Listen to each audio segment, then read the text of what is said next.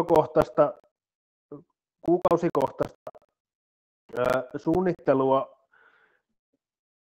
harjoittelun painotuksista ja, ja, ja tota, vähän laukausmääristä ja näin, niin mä voisin tuosta oikeastaan nyt näyttää semmoisen niin kuin,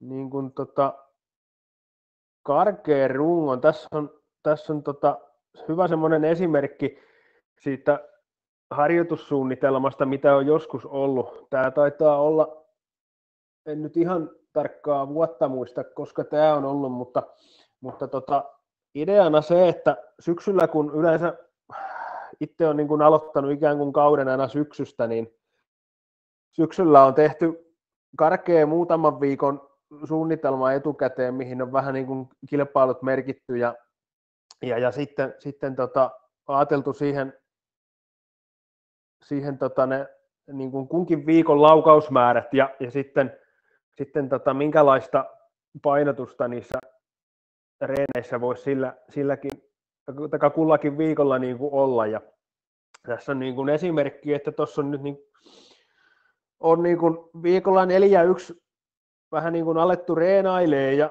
ja tota, siinä on parisataa laukausta ollut tavoitteena ampua ja sillä kyseisellä viikolla on sitten ollut tavoitteena tehdä, tehdä tota noin, niin painotuksen suhteen niin, niin nostoharjoittelua ja sitten tota, pitoharjoittelua.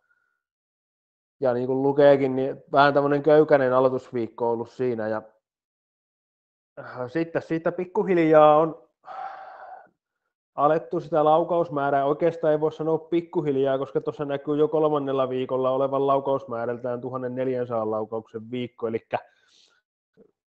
siinä on näköjään ollut leiritystä jo silloin mukana, maajoukkueen leiriä ja näin.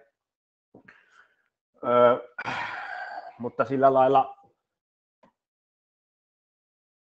sillä lailla tota, tuolla on ollut ensimmäinen kisa, että siinä on ollut aika raju rutistus ja sitten ruvettu vähän niin kuin tällä kisaviikolla löysäämään, vaikka siinäkin on vielä 600, 600 laukausta, mutta, mutta kuitenkin tälleen, että tässä on niin kuin toistakymmentä viikkoa niin kuin mietitty etukäteen, että mitenkä niin kuin sitä harjoittelua karkeasti, karkeasti tehtäisiin. Ja, ja tota, sitten täällä on niin kuin ollut vuoden vaihde ja kisat Ruotsissa, mihin tämä on niin kuin, tämä, tämä harjoitussuunnitelma niin kuin päättynyt. päättynyt. Ja tota, tämmöistä niin kuin suosittelisin,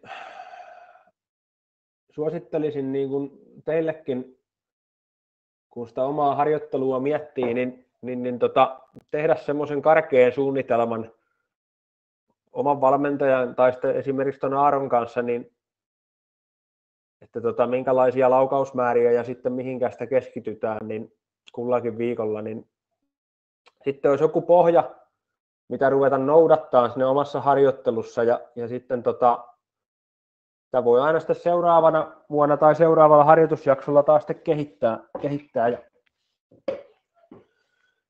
näin, niin tota,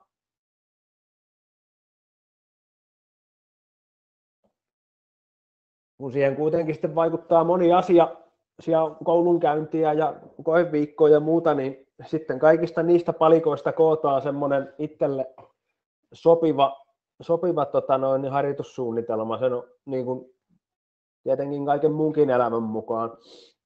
Mutta siinä on niin kuin tärkeää, että on itse niin kuin miettinyt sen asian vähän niin kuin valmiiksi ja, ja tota, sitten sitä voi valmentajalta kysyä kommentti, että onko tässä niin kuin järkeä vai, vai ei. Että tota, sitten yhdessä suunnitellen, niin sitten saa varmaan ihan just hyvä. Ja, ja tota, öö, siihen on sitten tietenkin öö, niin kuin monenlaista, jos näistä laukausmääristä puhutaan, nämä nyt on mitä mulla on ollut jonain vuonna, mutta öö, toisille sopii esimerkiksi se, että jos täällä on vaikka kilpailut, niin koko ajan nostetaan laukausmäärää ennen kilpailuja. Toisille voi sopia, että laukausmäärä on hyvinkin vähäinen tuossa ennen kilpailua, että sitä täytyy vähän niin kuin, vähän niin kuin sitten jokaisen, jokaisen hakea siinä harjoitellessaan ja vuosia kun sitä touhua tekee, niin se rupeaa pikkuhiljaa näkemään, että mikä, mikä sitten niin kuin itselle sopii, mutta, mutta tota, kuitenkin tuommoinen, tästä on hyvä lähteä liikkeelle. liikkeelle. Ja tota, sitten oikeastaan seuraavana niin kun tullaan siihen, että, että tota,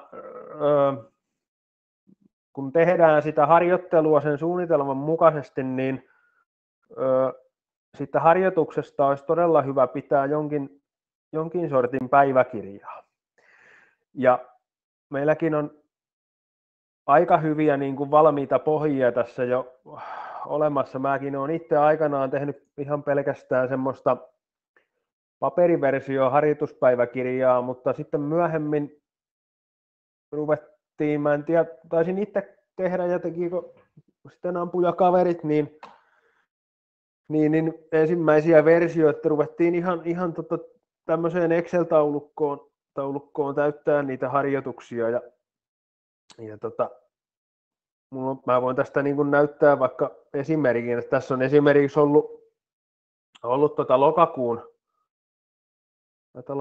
2011 vuodelta, niin lokakuun harjoitukset ja, ja tota, tässä niin kuin on yksi viikko, viikko sitten, missä on pidetty päiväkirjaa sitten harjoittelusta ja, ja tota, tässä näkyy. Esimerkiksi maanantaina niin aika köykäinen reeni, siinä on tehty 30 pystyä ja 50 paukkua hitaita ja keskiviikkona on sitten ollut vähän enempi pystyä ja 50 paukkua hidasta ja 20 nopeeta. Ja näin. Ja sitten on loppu viikolla ollut vielä ihan, ihan tota hyvää reeniä kanssa. Melkein 800 laukausta sitten tullut siinä viikkona laukauksia ja viisi ampumaharjoitusta. Ja näköjään ei ole maanantaina oikein toiminut. Ja sitten on keskiviikkona ja mennyt paremmin. Eli tässä on ollut semmoinen idea, että sitten on voinut vähän heittää tänne kommenttia itselleen, miten on kukin harjoitus mennyt. Ja, ja tota, sitten, sitten jos on ollut kilpailuita, niin tänne on voinut merkitä kilpailutuloksen tänne päiväkirjaan, niin sitä, sitä on sitten helppo, helppo vilkasta tota, kun tätä on täsmällisesti täyttänyt, että esimerkiksi tuossa on näköjään ollut Kuopiossa kilpailut, niin silloin on tullut tuommoiset tulokset, niin tota, tota, tota, näkee sitten kauden jälkeen vähän ynnäillä, että miten se tuloskunto on kehittynyt. Hei Tomo, minä Joo. yhden. Joo. Tuota, miten tärkeänä sinä näet sen, että te kirjoitat sinne harjoituspäiväkirjaan jotain sun reeneistä ja mitä se yleensä kirjoitat sinne niin kisoista, reeneistä ja niin edespäin? Kyllähän siinä... Tuli monta kysymystä. Niin, kyllähän siinä varmaan kannattaisi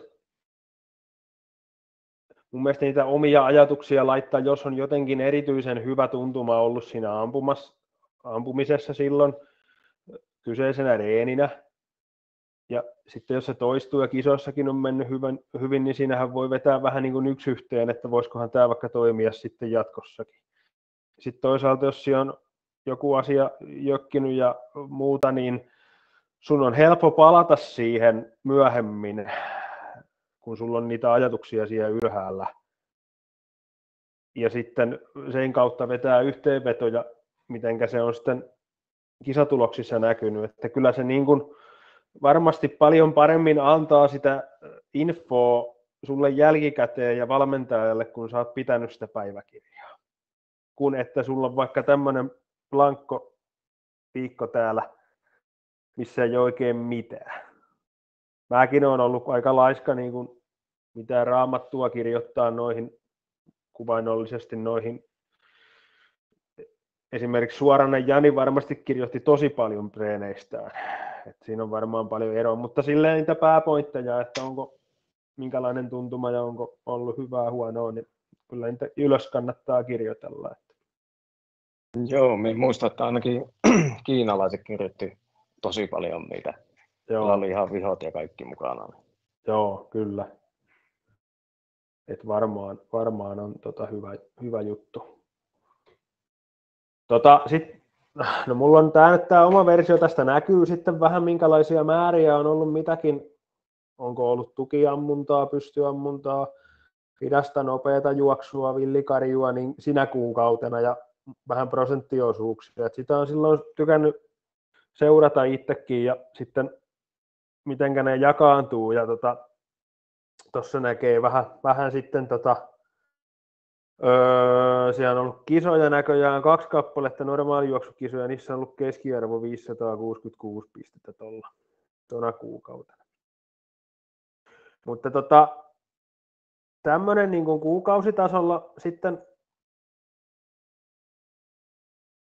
Antaako toi mun mennä tonne?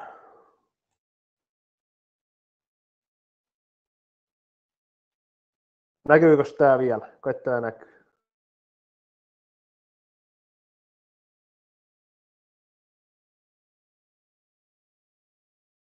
Kyllä se näkyy, joo.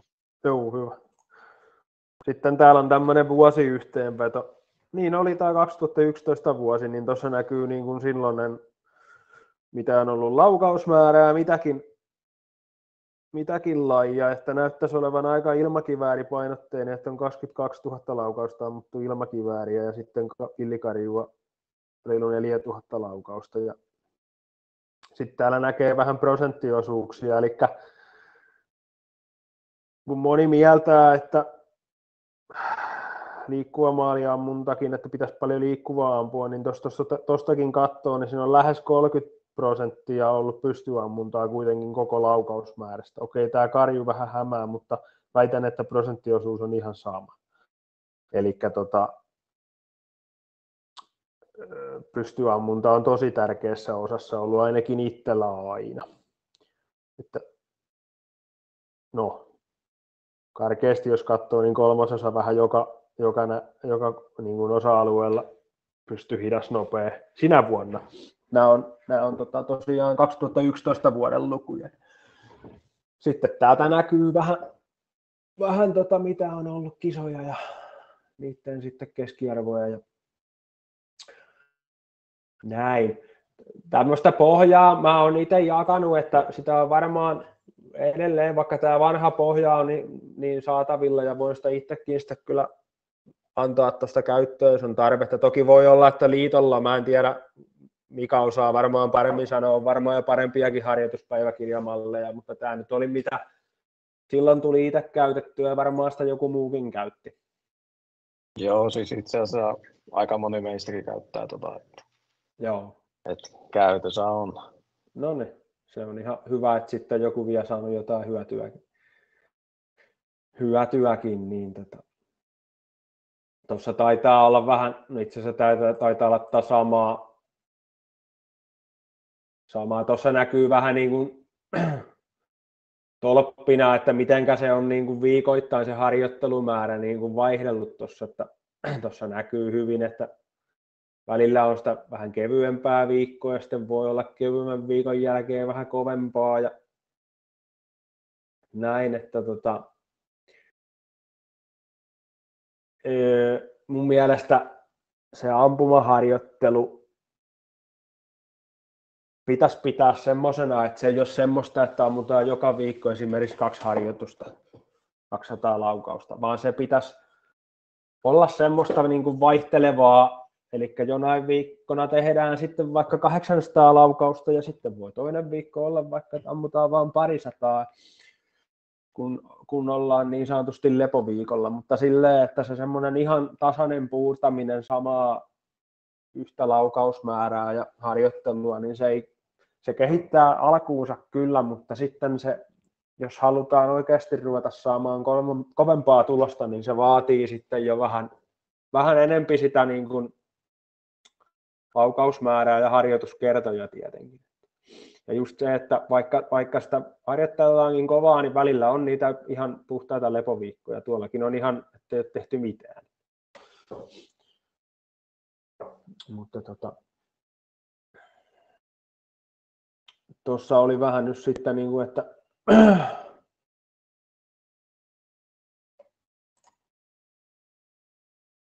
se päiväkirjahomma.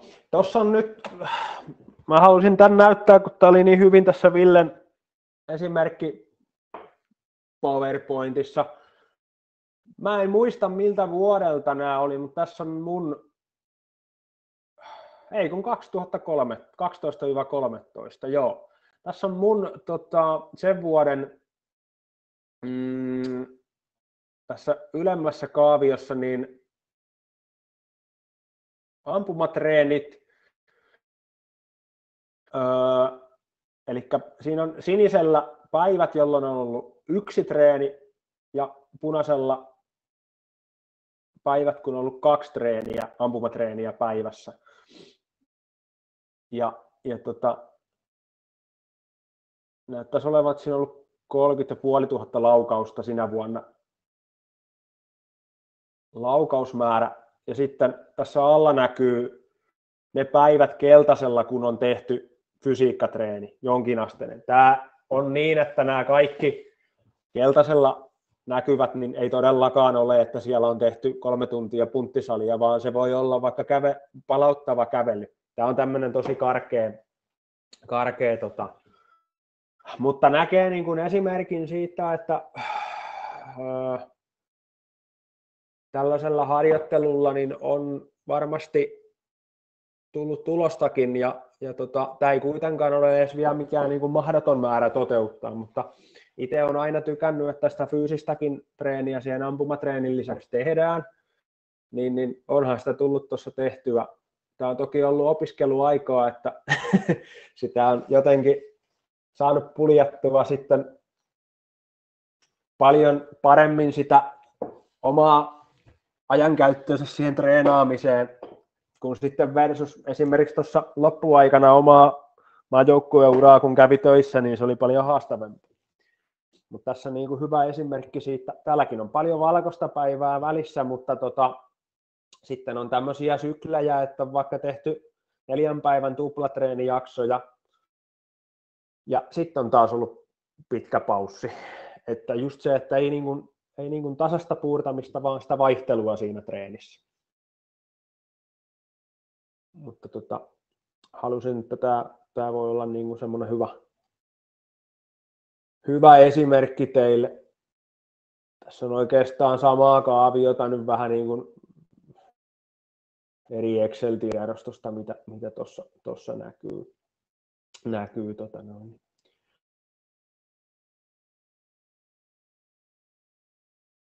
Samoin tuossa näkyy, tuossa näkyy kuukausimäärää, mitä se, mitä se on voinut kuukaudessa olla se, olla se harjoittelu, harjoittelu sitten. Mutta tota, tosiaan sitä niin kuin, öö, sitten kun sitä harjoittelupäiväkirjaa pidetään, niin, niin, niin tota, se olisi aina hyvä väliin tehdä semmoisia sitten, kun on se treenisuunnitelma ja pidetty sitä harjoituspäiväkirjaa, niin vähän miettiä jälkikäteen, että miten se menikään. Ja, ja tota, viimeistään siinä kauden lopulla, mutta mielestäni myös siinä kauden aikana, että, että tota, miten toi toimi toi tuommoinen harjoittelu ja voisiko sitä jotenkin parantaa. Ja, ja sitten sitten justiinsa siihen tulevaan ö, muutaman viikon suunnitelmaan, että mitä asioita mä voisin parantaa ja, ja tota, mihinkä keskittyä siinä, siinä harjoittelussa, että pitäisikö nyt vaikka esimerkiksi sitten ampua enemmän, enemmän tota, tota noin, niin paikallaan olevaa pysty, pystyharjoittelua, että saataisiin vähän pitoa paremmaksi vai onko, onko liipasun kanssa ollut ongelmia, pitäisikö siihen pyrkiä enempi keskittyä, niin sitten tota, tekee sitä treenisuunnitelmaa niin kuin vähän niin kuin sen, sen ehdoilla ja sen mukaan, että missä sitä kehitettävää niin kuin enempi, enempi on, niin tota, se, se just, että se, se antaa silloin parhaiten se treenipäiväkirja, kun sitä käyttää sitten oikeasti hyödykseen ja vähän, vähän analysoi sitä, sitä mitä, mitä tota, se on sitten tuottanut kisa, kisatuloksissahan sen toki näkee, toki kisatulokset ei aina välttämättä kerro sitä todellisuutta, se voi treenituloksetkin olla noussut, vaikkei se kisassa anna, anna tota ihan samaan tahtiin sitä pistettä, että ei, ei pidä aina tuijottaa vaan sitä sitä kilpailutulosta se ei välttämättä kerro ihan koko totuutta. Joo. Katsotaan, mitäs mulla oli tässä. Mitäs mulla oli tässä seuraavana sitten teille mielessä?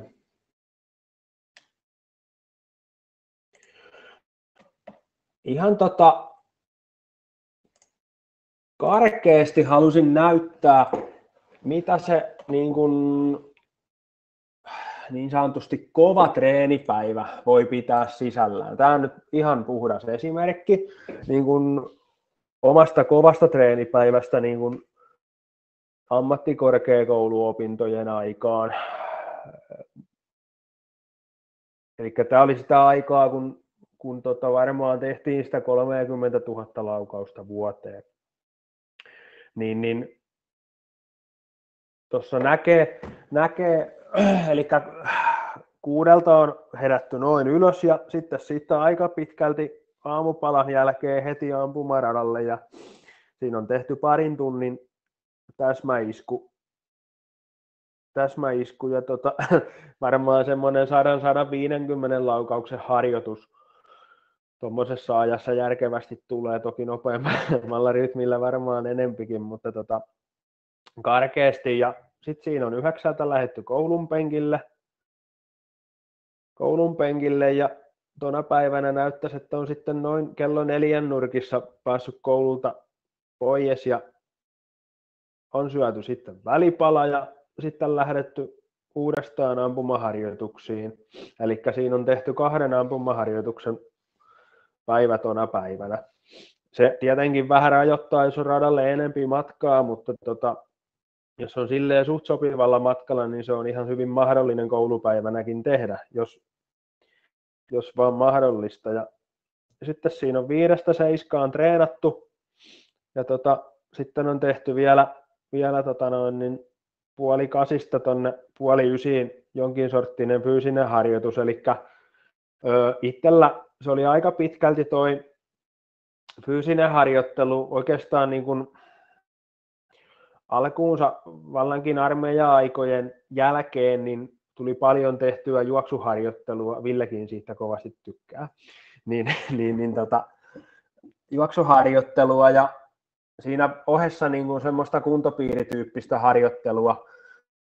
Se toimii aika mukavasti kyllä ammunnan, ammunnan tota noin, niin hyödyksi ja talvella sitten siihen aikaan tuli hiihdettyä. Se oli tosi kokonaisvaltaista ja sitä on moni liikkuvan maalin ampuja. Esimerkiksi Savjahteen Vesa on paljon tehnyt hiihtohommaa. Että se on niin kokonaisvaltainen ampujalle niin kuin harjoitteluna, että tota, se on erittäin hyvä. Sitten tuli paljon just tuommoista salibändi peluuta tehtyä, koordinaatiota kehittää ilman muuta ja sulkapalloa ja tämmöistä. Myöhemmin oikeastaan viimeiset 5-6 vuotta tota, niin kuin aktiivista ampumaharjoitteluaikaa, niin sitten ehkä painottu itsellä enempi tuonne kuntosalille toi, toi että tota, siinä haettiin voimatasojen nostoa, että pystyy, pystyy ampumaan pitkää päivää painavalla aseella.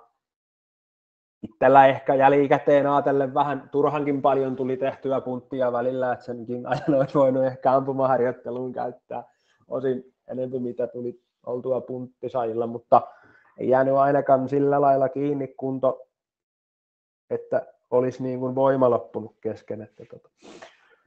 öö, mutta siinä saliharjoittelussakin itse suosin semmoista niin kuin kokonaisvaltaista Mika tietää näistä paljon enempi harjoittelua, mutta tota, sillä lailla, että koko kroppaa treenaa ja, ja tota, siinäkin varmaan jo ampumaharjoittelun ohessa niin parikin vi, pari kertaa viikossakin tekee jo ihmeitä, että kerta pitää yllä ja pari-kolme kertaa jo sitten vähän kehittääkin. Mutta salille kyllä kerkee vähän myöhemminkin, että tota se oman kehon painoharjoittelu on siinä, siinä kyllä ollut itselläkin alkuun tosi hyvä ja sillä pääsee jo tosi pitkälle. Että se ei välttämättä sitä punttisalia siihen, siihen vaadi. Mutta tota, se nyt oli vaan tuosta liikuntapuolesta, mitä on tullut tehtyä ja mitä niin kuin itse suosittelee, niin mahdollisimman monipuolista. Niin, niin, niin sitten on vielä ollut tuossa omaa aikaa yhdeksästä kymppiin, eli siinä on sitten tehty mitä on kouluhommia pieniä ollut ja ehditty varmaan katteleen pätkätelkkariakin, mutta aika täyspäivä sitten, kun on kympin maissa menty nukkuun. Mutta tälleen niin kuin tässä vaan esimerkkinä, että tämmöisiäkin päiviä voi opiskellessakin tehdä. Tavanomainen päivähän nyt on ehkä vähän löysempi, että sieltä se toinen ampumaharjoitus puuttuu, että siinä, siinä se yksi, yksi todennäköisesti illalla sitten on koulun jälkeen ja se varmaan on se tavanomaisin kaava, millä, millä su, suurin osa ampuista tekee, mutta toki, toki on sitä mieltä, että sitten jos haluaa nousta tuonne niin kansainväliselle huipulle, niin kyllä sitten se rupeaa jo vaatii niitä tuplaharjoituksiakin ja, ja tota viikonloppunakin sitä panostamista enempi, enempi että tota, se laukausmäärä ei oikein muuten sieltä tule itsekseen ja tämä on kuitenkin vähän semmoinen laji, mikä vaatii tota toistoa, toistoa sitten jossain vaiheessa, että siinä pystyy kehittyyn, kehittyyn sitten tarpeeksi korkealle. Ja tähänkin vielä kirjoittelin, että lepopäiviäkin pitää muistaa pitää, että, että muuten, muuten tota sitten ei vaan yksinkertaisesti ampumaharjoittelusta palaudu ja se ei välttämättä ole se fyysinen puoli siinä ampumaharjoittelussa, mikä ei, vaikka se fyysinen puoli saattaa hyvinkin palautua, mutta ö, sitten kun ampumaharjoittelu on kuitenkin varmaan puolet sitä niin kuin oman pääkopankin harjoittelua, niin se oma pää ei palaudu, jos ei se saa sitä ampumaharjoittelusta välillä, välillä sitä taukoa. Eli se on senkin kannalta tosi tärkeää, että välillä kannattaa kokeilla, jos paljon harjoittelee, että on vaikka parikin viikkoa, parikin viikkoa tota, ihan ampumatta, jos on, tuntuu tosi tukkoselta, niin se voi tulla aha-elämässä, kun sitten menee kylmiltään kisoihin, että aha, onpas aika erilaista ja saattaa mennä tosi hyvin. Että tota, se, se pitää muistaa, että lepoakin täytyy, täytyy väliin tulla. Tota, sitten tuossa olisi tuommoinen esimerkki siitä, varmaan olette näitä joskus käynyt jo läpittekin valmentajien kanssa, mutta tuossa on niin kuin yksi esimerkki, mitä voisi olla semmoinen tavanomainen ampumatreeni, mitä esimerkiksi itse olen tehnyt, tehnyt että tota, tuommoinen 160 laukauksen treeni, mikä, mikä tota, ö, itsellä on ollut aina tapana, että kun radalle tullaan, niin, niin, niin tota se treeni lähtee alkuverryttelyllä. Eli tota, erilaisia käsien pyörittelyjä, pientä, pientä kyykkyä, joskus jopa pientä etunoja punnertelua, pientä, pientä kevyttä lämmittelyä ja sitten, sitten että kroppa käydään ihan tota avaavilla nopeilla venyttelyillä läpi. Ihan vaan ei ole tarkoitus niin kuin venyttää, venyttää, vaan ihan, että se vaan käydään läpi se kroppa. Niin se on semmoinen niin kuin herättelevä toimenpide siihen, siihen treeniin. Ja sitten sen jälkeen oikeastaan ö, aseen semmoista niin kuin nostelua, kiertoharjoittelua siinä samalla. Siinä niin kuin haetaan vähän tuntumaa siihen, siihen omaan aseeseen, aseeseen ja tota, ollaan vähän niin kuin valmiita sitten, kun ruvetaan se itse, itse harjoitus siinä. siinä ja tota, näitä kun on joku vartti tehty, niin ruvetaan olemaan aika valmiina sitten siihen itse sitten ammuntaharjoitteluun. Ja tota, öö, mä oon aina tehnyt liikkuvan maalin harjoittelun sillä lailla, että öö, Villen opissa kun on ollut, niin paljon on tehty pystyammuntaa. Ja sitten jossain vaiheessa tuossa kun kansainvälisiä kisoja kierrettiin, niin tajuttiin, että ulkomailla vallankin venäläiset silloin ja muutkin niin harjoittelu, harjoitteli pystyammuntaa, niin ilman, ilman varusteita. Ja silloin ruvettiin sitä tekemään ja edelleen, mitä tuossa nyt on pari-kolme kertaa itsekin käynyt radalla, niin edelleen se lähtee siitä se oma harjoittelu, että pystyammuntaa tehdään aina siihen treenin alkuun ilman varusteita. Ja se on ihan sen takia, että sillä saadaan siihen öö, sa, se oikeastaan niin kuin kehittää vähän niin kuin koko, koko kroppaa niin kuin sillä lailla kannattelee sitä asetta ja hallitsee sitä asetta paremmin. Eli se, se tota, jos sä pystyt sitä, sitä tota, pystyammuntaa tekemään ilman varusteita, niin sitten kun sä lyöt siitä varusteet päälle, takia ja, ja tota, kengät ja näin, niin se on, se on aika helpon tuntusta se ammunta sen jälkeen. Ja tota, se, se pysty ammunta ilman varustetta ilman muuta on semmoinen, mitä kannattaa, kannattaa tehdä. Mä suosittelen, se on todella kehittävää vallankin pidon osalta.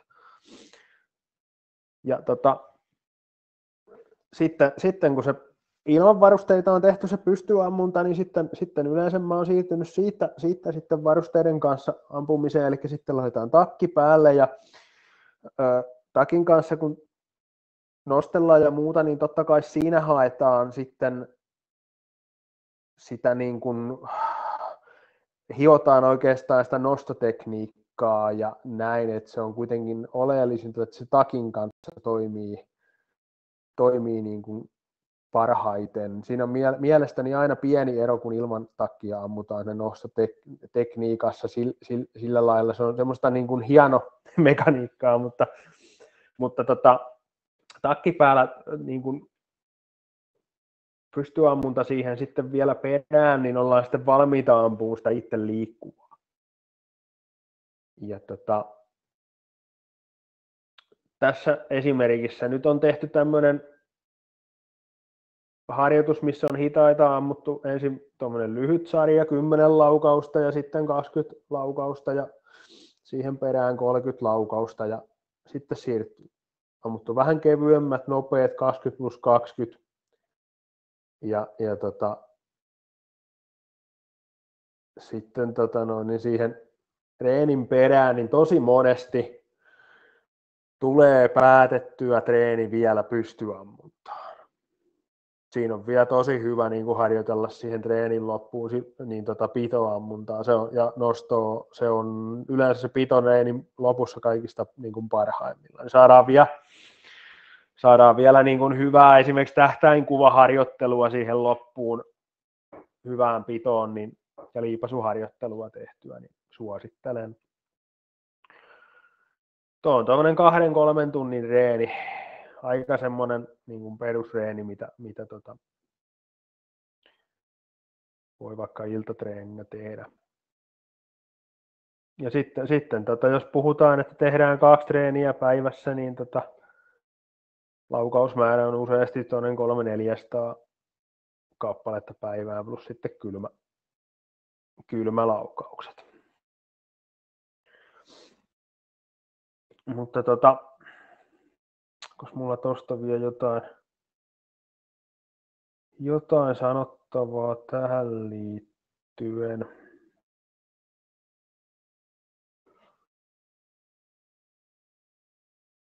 Joo, eiköhän mulla tästä ollut kaikki. Sitten tota, mietin vähän tota, niin kuin, joitain semmoisia vinkkejä, niin kuin, mitä voisi tuohon niin kuin, ampumaharjoitukseen, ampumaharjoitteluun antaa, niin, niin tota, oikeastaan tärkein asia, kun menee radalle, tietää, että tänään harjoittelee, niin pitäisi olla aina mielessä vähän etukäteen jo, että mitä mä tänään harjoittelen tai mihin se mun harjoitus niin kuin keskittyy. Eli esimerkiksi se, että tänään mä yritän harjoitella mun nostotarkkuutta ja keskittyy siinä, siinä tota, ampuessa niin kuin nimenomaan siihen asiaan. Sitä ei kannata samassa harjoituksessa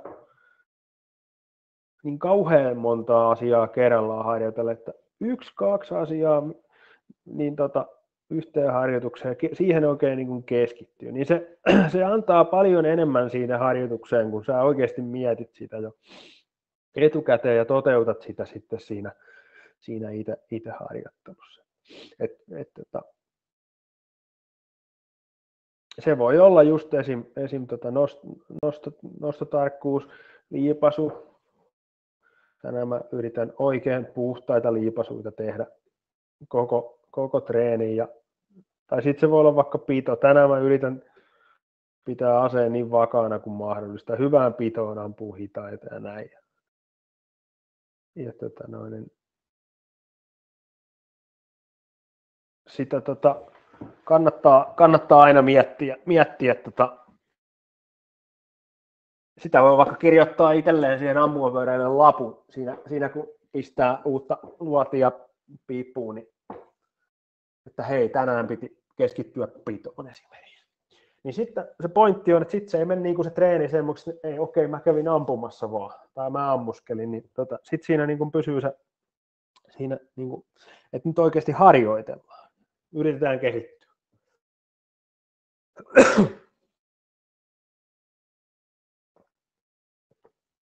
Ja sitten tota, semmoinen hyvä pointti, mitä pystyy myös treenissä tekemään, pystyy niin kuin harjoittamaan omaa semmoista kilpailutilanne psykologiaa. Sitä voi joka treenissä tehdä ja, ja tota,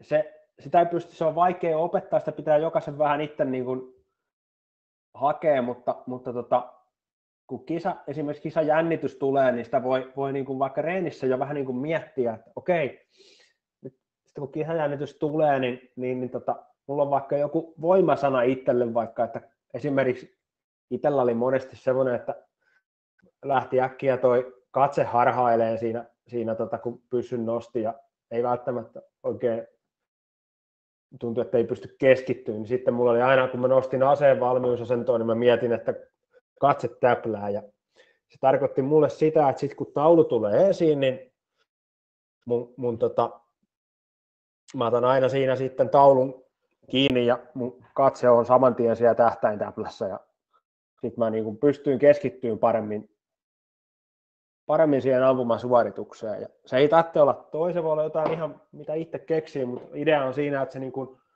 auttaa sinua siinä kisatilanteessa ja myös treenitilanteessa keskittyyn paremmin ja, ja tota, vaikka se jännittää, niin, niin, niin tota, ö, auttaa sinua keskittyyn siihen itse suoritukseen siitä jännityksestä huolimatta. Niin tämmöisiä niin kannattaa, kannattaa siinä treenatessa miettiä kanssa, että, että tota, mikä voisi olla sitten se oma juttu siihen, siihen, mikä, mikä auttaisi siinä kisatilanteessa. Sitten ihan niin kuin treenatessa niin yleensä ottaenkin, niin, niin, niin tota mun mielestä täytyisi ainakin pyrkiä siihen, että aina keskittyisi siihen itse niin kuin harjoitukseen. Nyt ollaan tekemässä tätä, että totta kai kaikkea pyörii aina muutakin mielessä päivän aikana, mutta pyrkiä siinä harjoituksen aikana niin keskittyyn siihen. Ja ammuntahan on yleensä semmoista kyllä, että kyllähän se melkein puoliväkisinkin pitää muut asiat pois mielestä, että muuten, muuten ei kerkeä nopeeseen juokseen kyllä, kyllä ampua, että taulu meni jo. Ja tota, tähän liittyen vähän ehkä niin kuin nykyäänkin paljon puhelin on läsnä ja tälleen, niin, niin, niin tota, sitä kannattaa niin kuin mahdollisimman paljon siinä itse ampumaharjoittelussa sitä, ja sen ampumaharjoituksen aikana niin sitä puhelimen käyttöä niin kuin välttää. Se, se on hyvä, jos siinä vaikka välillä kuuntelee musiikkia ja muuta ampumaharjoituksen lomassa, ei siinä mitään, mutta sitten, sitten se vie äkkiä sitä keskittymiskykyä pois siitä harjoituksesta ja, ja tota, siitä on varmasti tutkittuakin tietoa, mutta itsellä on omakohtaista kokemusta ainakin, että silmät väsyy tosi herkästi, kuin jos sitä puhelinta näppärää siinä niin kuin harjoittelun lomassakin ja vallankin ennen harjoittelua, niin se vie semmoisen parhaan terävyyden siinä, siinä tota, näkökyvyssä. Eli suosittelen niin kuin sitä, sitä välttää sitä puhelimen käyttöä mahdollisimman paljon. Joo, viime, viime leirillä olikin puhetta tuosta ja kerättiinkin puhelimin, puhelimia tuota vähän puhelinparkkiin justiin tämän takia. Okei, okay, joo, no joo, se on varmaan sitten ihan tuttua, mutta se oli niin kuin itselläkin semmoinen aika tärkeä juttu, kun jossain vaiheessa rupesi enemmän tätä puhelinta niin tässä tuleen käyttöön, niin, kuin, niin, niin se yllättävästi vaikuttaa siihen näkökykyyn. Vallankin pitkässä, pit, pit, pitkänä kisapäivänä esimerkiksi niin on, on iso merkitys. Kannattaa, kannattaa niin kuin pyrkiä välttämään. Sitten oikeastaan tämä viimeisenä pointtina, mitä tuohon kirjailin, niin ei kannata sitten ampumaharjoittelustakaan tehdä niin kuin itselleen liian tylsää. Eli siinä olisi hyvä keksiä välillä jotain vähän niin kuin vaihtelua siihen esimerkiksi tauluun. Sitä voi olla pikkusen erilaiseen tauluun ampua sitä paikallaan olevaa. Pystyä sinne voi, voi vaikka tehdä, itse teen paljon sitä edelleenkin, jos käyn ampumassa, niin tota, pistän vaikka tussilla täpliä sinne tauluun ja ammun niitä täpliä pois sieltä. Tai sitten vaikka tämmöisiä niin sanottuja kuljetusratoja. Aaro tietää varmaan, mitä se tarkoittaa. Se on hyvä treenata sitä asehallintaa ja, ja tota, sillä lailla... Kyllä, mä tiedän ainakin. Juu, niin, niin tota, sillä lailla, että siihen tulisi vähän vaihtelua siihen niin kuin tähtäinkuvaan, mihin ammutaan, ja, ja tota, se ei olisi aina semmoista ihan samanlaista se tekeminen, että se pysyy vähän niin kuin mielekkäämpänä ja, ja tota, virkeämpänä silloin se treenaaminen. Ja sitten, sitten tota, toi musiikki on semmoinen, öö, mitä voi ihan hyvin, jos ampumaradalla se sallitaan, niin vähän soittaa, jos ei puhelimelta, niin sitten vaikka kuulokkeista, niin tulee vähän semmoista taustamelua siihen ampumiseen. Toki ampumaradalla muutenkin on, muutenkin on tota, monesti melua, mutta, mutta tota, vähän semmoista niin kuin häiriötä ja siinä on pakko keskittyä paremmin ja toisaalta siitähän voi tulla hyvä fiilis, kun tulee vaikka joku hyvä biisi sieltä, sieltä tota, luureista tai muista, niin sitäkin kannattaa välillä, välillä kokeilla, että se, se tota, on ihan mielestäni hyvä juttu. Toki kilpailuissa ei... Mites? Ei, niin. ei taas keskeytän täältä. Tuota, mites paljon siinä noita variaatio harjoitteluja teit? Itse ainakin muistelen, että me tein suunnilleen joka toisessa jonkinlaisen esimerkiksi ruuvasin vaikka jatkoputken pois tai sammutin valot tai jotain tämmöistä. Niin miten paljon syö teit? Silloin enempi treenatessa en, en nyt kyllä varmaan osaa sanoa, että oliko se joka toinen treeni, mutta sanotaanko, että vaikka että joka kolmas treeni oli varmaan sitä variaatioharjoittelua mukana. Just tota, joo, sittenhän se voi olla, niin kuin säkin sanoit, että se voi olla paljon muutakin, että otetaan vaikka jatkopiippu pois tai, tai tota, ammutaan vaikka, no leireillähän tehtiin esimerkiksi paljon sitä, että ammuttiin vaikka pidemmälle radalle tai lyhyemmälle radalle ja näin, niin, niin, niin tota, mikä sun öö, kokemus on siitä, että mikä se hyöty on näistä, että esimerkiksi ammut pidemmälle radalle tai kehit, lyhyemmälle? Kehittää esimerkiksi pidemmälle radalle ampumisessa on se, että se pakottaa ikään kuin vielä tarkemmin ampuun. Ja sen jälkeen, kun sä, hypp- jos ammut vaikka 12 metrin matkalle, kun normaalisti ammut kymppiin, ammut jonkin aikaa siihen 12 metriä ja siitä hyppäät 10 metrille, niin se on aika paljon helpomman tuntusta se 10 metrin ampuminen. se on niin paljon vaikeampaa se 12 metriä. Et si, siinä, siinä niin kuin tulee se. Ja toisaalta, jos sä siitä hyppäät sinne kahdeksaan metriin, niin sehän on aina kymppi, kun saa Et se, se on tota, mutta toisaalta siinä sitten kiertomatka esimerkiksi pitenee suhteessa, jos sä ampusit 10 metriin. Et, et sit, tämmöisiä juttuja on, on hyvä, varmasti hyvä. Ja, ja sitten esimerkiksi just tämä, että ammutaan ilman jatkopiippua, niin se on, sitä tein itsekin paljon. Se on tosi hyvä asehallintatreeni. Tosi hyvä. Et, tota, en tiedä, mutta varmaan se kolmasosa, varmaan puoletkin voi olla harjoitukset tuli tehtyä, niin on varmaan ihan viksu. Ja muistanko oikein, että oliko niin, että kaikki muut variaatiotreenit oli hyviä, mutta se kiikarin suurennuksen isontaminen ei välttämättä. Joo, tarkoitatko se sitä silloin, kun mä ammuin sillä kymppi?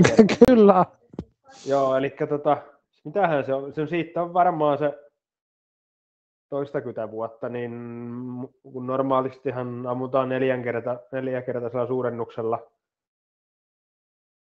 10 metrin tauluun, niin mä ammuin, mitähän mä ammuin? Ammuinko mä jonkun kuukauden sillä kymmenenkertaisella? Ainakin sen kuukauden, puolitoistakin saattoi. Se, mä ammuin sillä aivan älyttömän hyvin, se oli todella helppoa se ampuminen ja tuntuu, että ei kympistä saa pois ollenkaan, mutta sitten kun me jouduttiin vaihtamaan totta kai takaisin se nelinkertainen siihen, niin eihän sitä mennyt tule enää mitään. Taikka tulihan